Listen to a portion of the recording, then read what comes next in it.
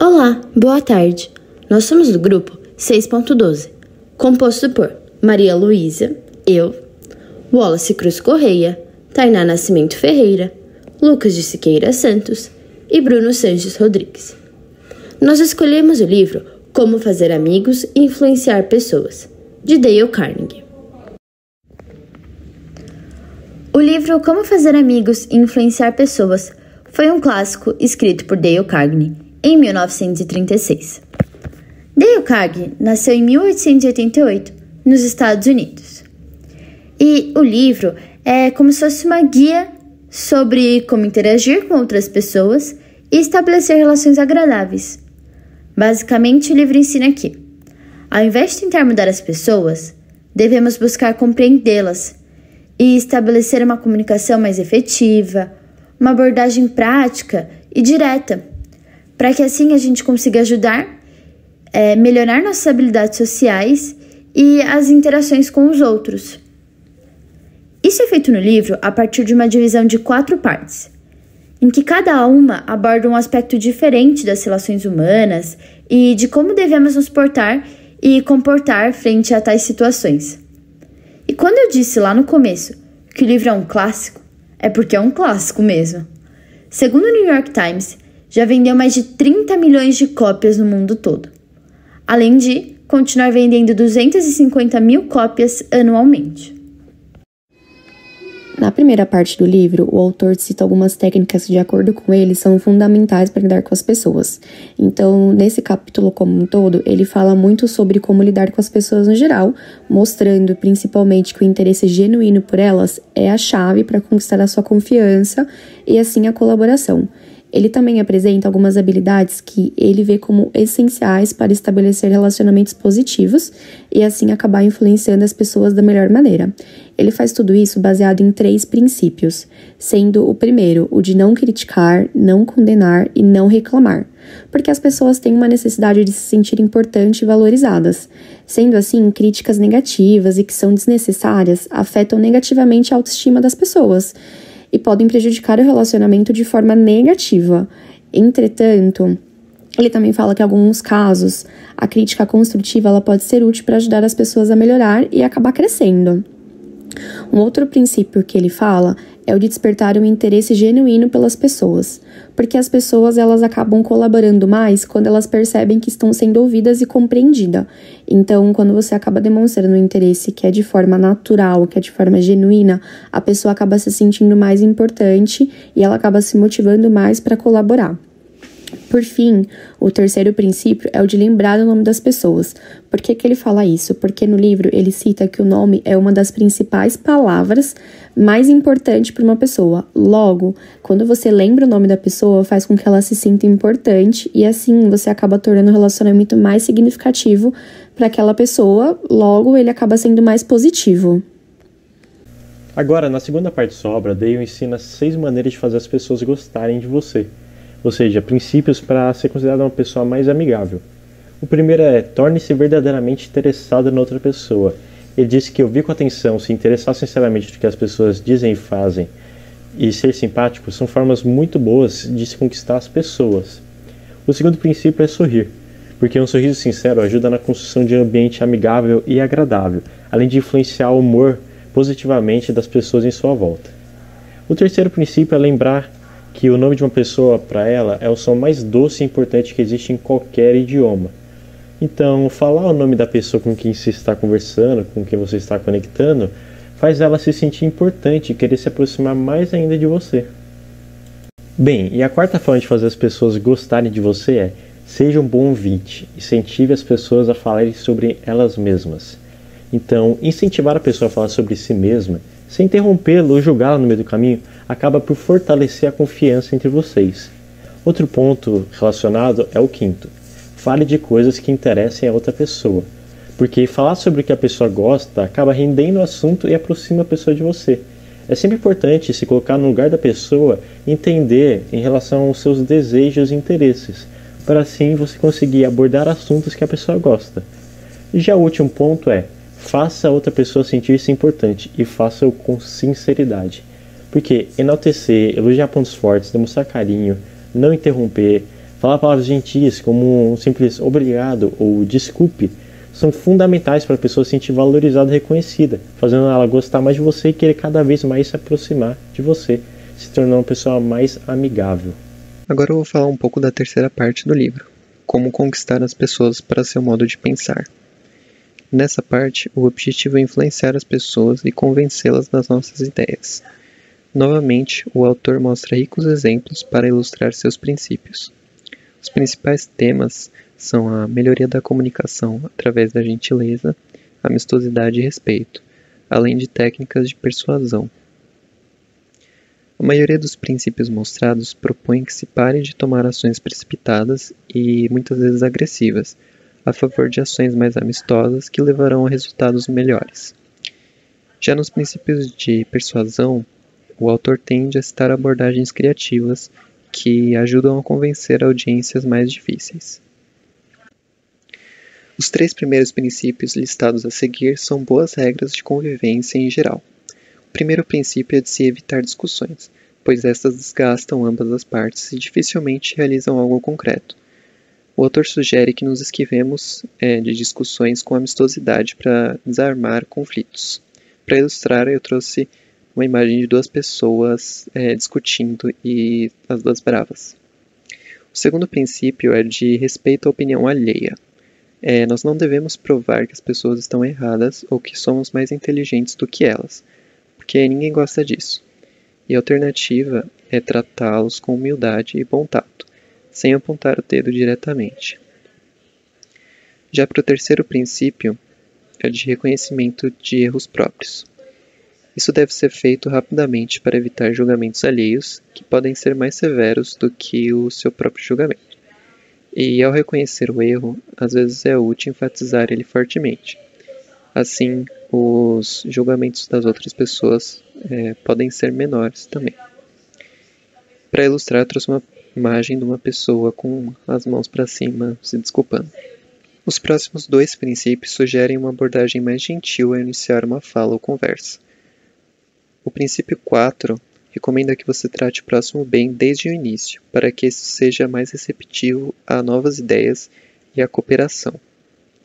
Já o princípio 5 sugere que você comece o seu discurso listando os pontos que vocês têm em comum, para condicionar a pessoa a responder sim logo de cara.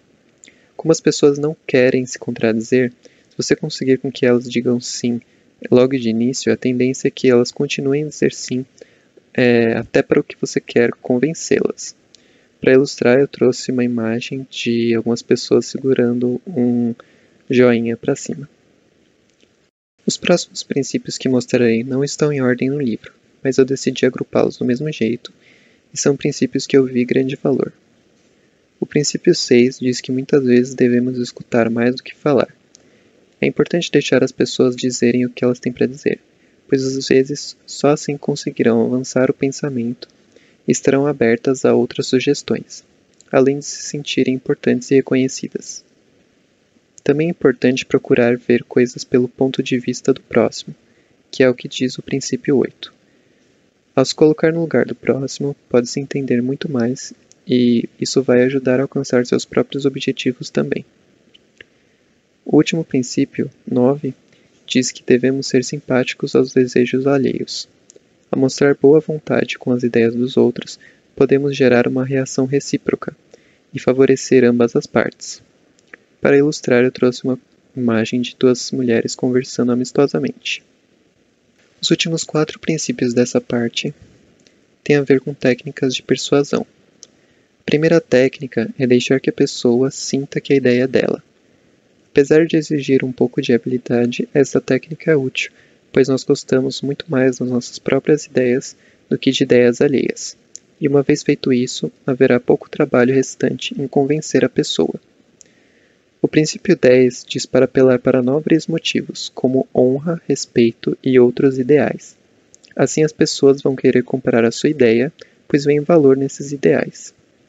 Já o princípio 11 de dramatização Assim como vemos nos comerciais e anúncios por aí, é muito aplicável na hora de vender ideias e convencer pessoas, pois chamam a atenção e fazem as pessoas se conectar às nossas ideias. O último princípio mostrado pelo autor é o de lançar um desafio quando cabível. Ele sugere que, dado um desafio, as pessoas se sentem mais competitivas, desejando vencer. Isso pode ser usado para favorecer os seus objetivos. Para ilustrar, eu trouxe a imagem de uma pessoa enfrentando um desafio de empurrar uma engrenagem subindo uma escada, e outra imagem de uma mulher sendo comovida. Bom, a parte final do livro fala sobre o papel do líder em mudar pessoas sem causar ressentimentos, e o autor traz alguns princípios acerca disso. O primeiro fala: comece com um elogio ou uma apreciação sincera, em que é necessário começar uma conversa com um elogio para depois chegar na parte desagradável. O outro princípio é chamar atenção para o erro das pessoas de maneira indireta. Então é necessário ser indireto para não deixar a pessoa ressentida ou se sentir ofendida. O uso do mas é desencorajado pelo autor, porque pode fazer a pessoa duvidar da sinceridade do elogio.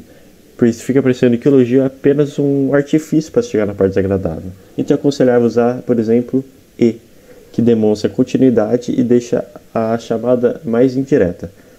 E também há o princípio 3, que diz: fale sobre seus erros antes de criticar o das outras pessoas, em que a humildade em reconhecer o erro pode lhe fazer positivas mudanças nas relações humanas.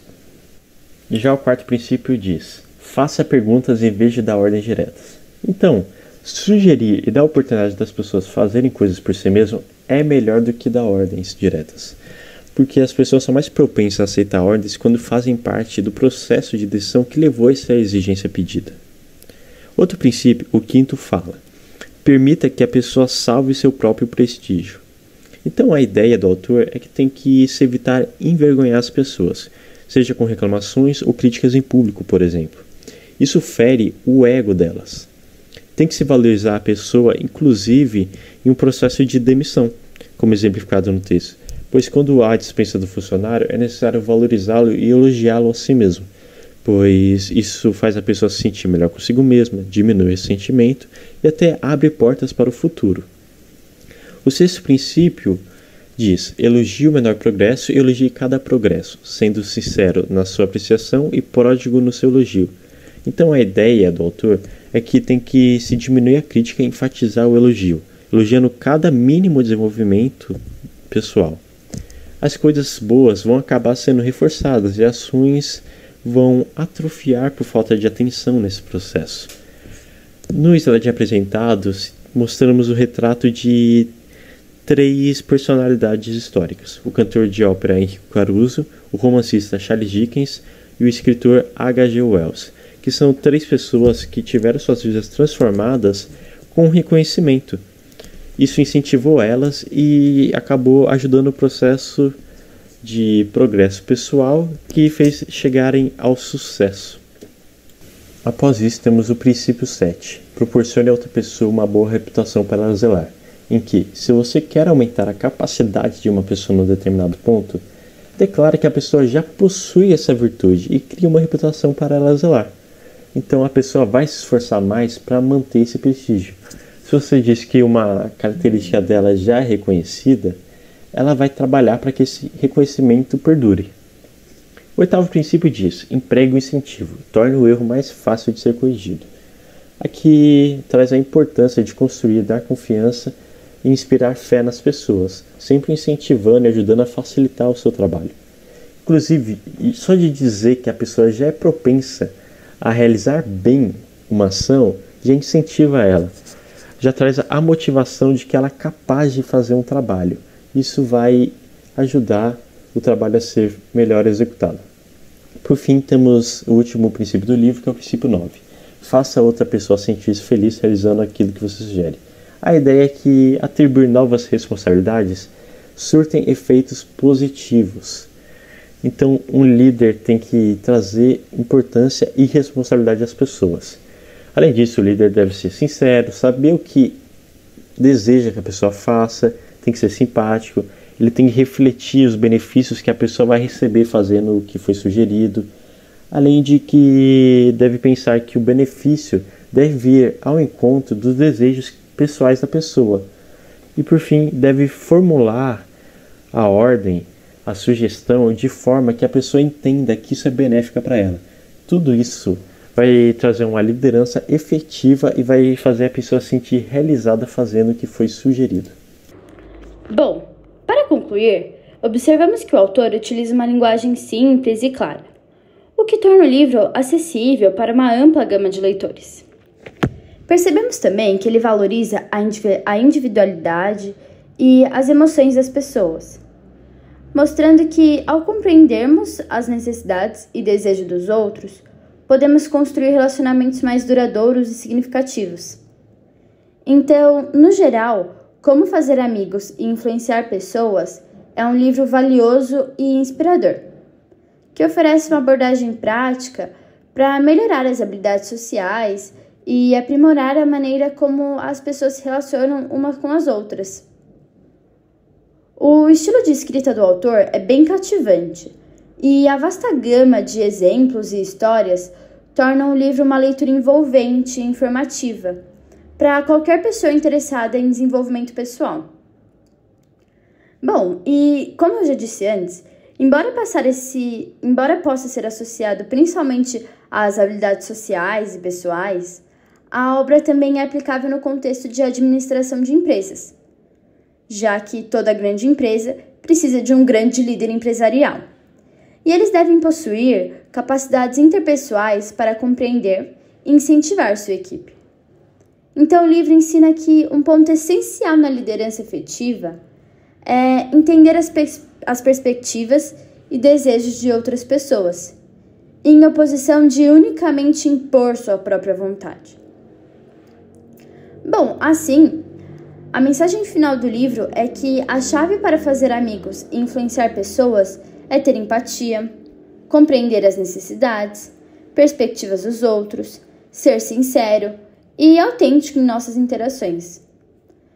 É, ao adotar esses princípios em nossa vida diária, podemos construir relacionamentos mais positivos e significativos, bem como alcançar nossos objetivos pessoais e profissionais da maneira mais eficaz.